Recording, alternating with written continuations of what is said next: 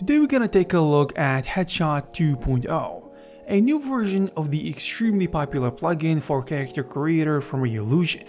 This AI-powered plugin allows you to generate high-quality rigs for the types of faces that you want, whether it be realistic, stylized, or cartoony.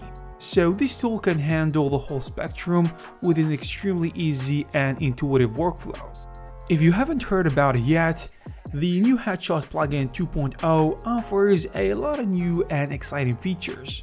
Because on the Headshot page there is a list of all the new functionalities that the team worked on like a brand new mesh workflow that features highly accurate mesh wrapping and texture baking options. In addition to the ability to turn still photos or static head models into fully rigged 3D faces for voice lip sync, also easy facial expressions and full body animation.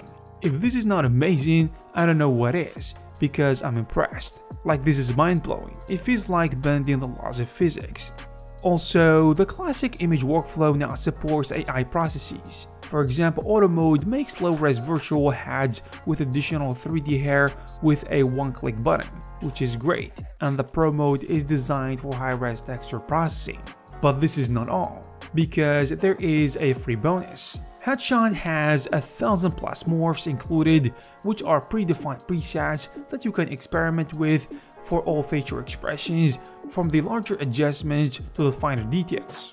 These morphs are actually super helpful and they're gonna save you a ton of time. Actually, they deserve a standalone video for how much functionality they provide and how comprehensive they are at modeling and reshaping faces using solely sliders. If you are a character creator user, then you already know how this works, but let's take a closer look at the new Headshot 2.0. So to start creating character creators characters, make sure you install the latest version of Headshot from the Reallusion Hub. Once you get everything set up, you will see that there are two modes, Image and Mesh. Image mode is an older mode that uses a photo to generate a 360 character similar to the photo. And Mesh mode however is a new feature with the Headshot 2.0.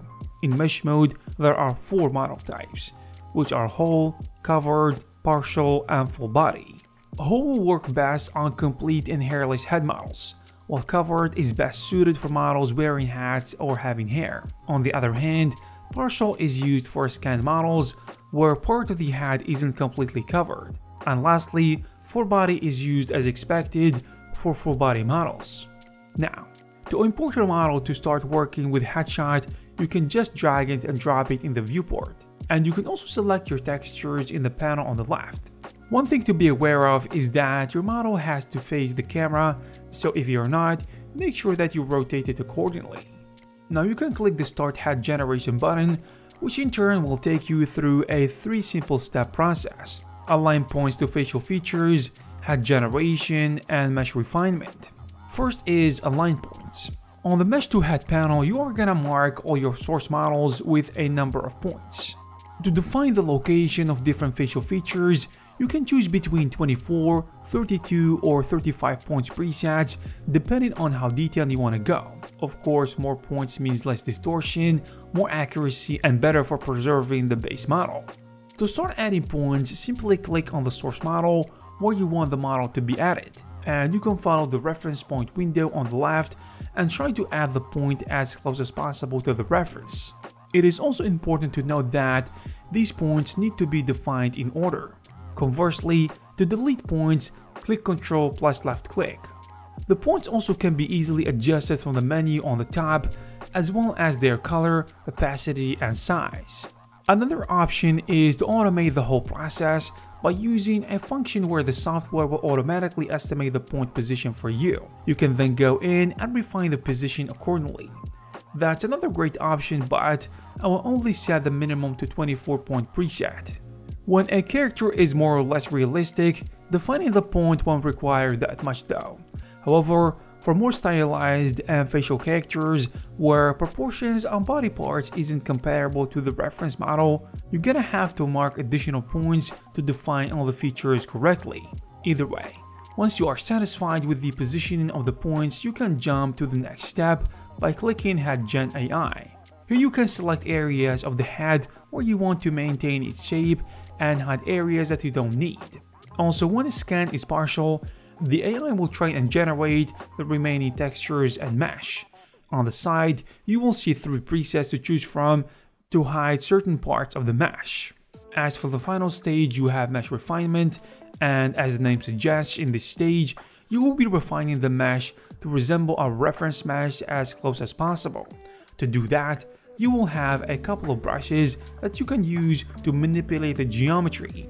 First is Move, which will allow you to modify the surface by selecting vertices.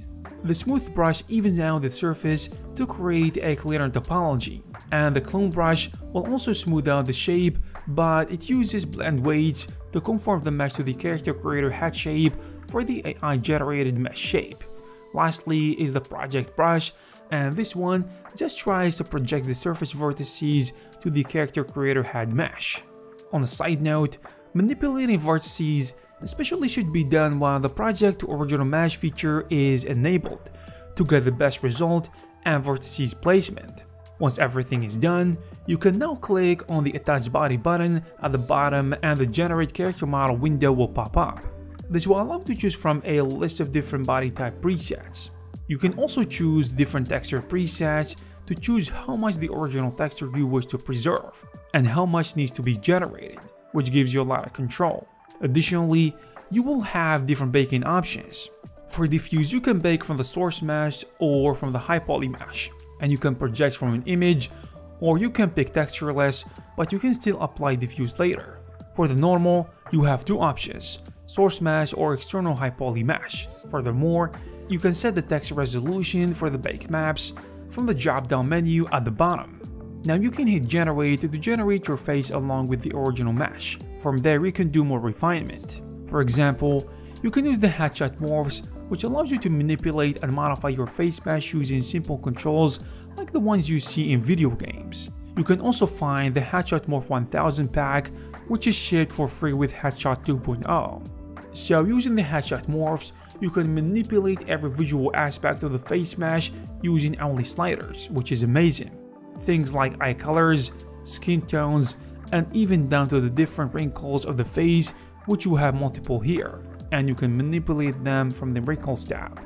That's not all, because you can now export your model to iClone to further edit and take advantage of all the powerful animation tools and features it offers such as Face Puppet, automatic lip sync, as well as facial motion capture, just to name a few. So if you guys found this interesting and you want to take your animation game to the next level, then I recommend you take a look at Headshot, and you will find the necessary links in the description. I hope you guys found this video useful. If you did, please give it a thumbs up. You can also check some of our previous videos. Thank you very much for watching, and I'll see you in the next one.